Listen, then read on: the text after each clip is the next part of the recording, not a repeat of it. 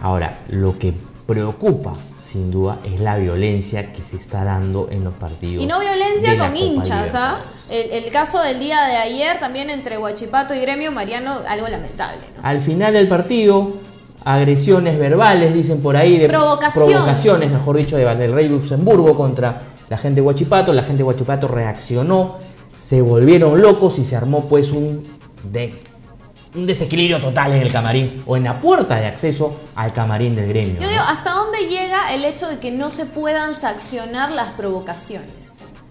¿No? O sea, tú ahí el sancionado va a ser la gente de Huachipato, sin duda alguna, porque. Preocupa Fiorella de Voto porque diciembre, incidente en la final de la Sudamericana.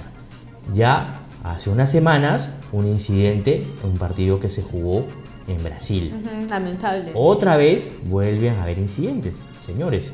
Y ojo, que, sin dejar de mencionar los incidentes que se han dado en las tribunas, que, que provocaron primero la muerte de un niño, en el partido entre Corinthians, entre Corinthians y, el equipo boliviano, ¿no?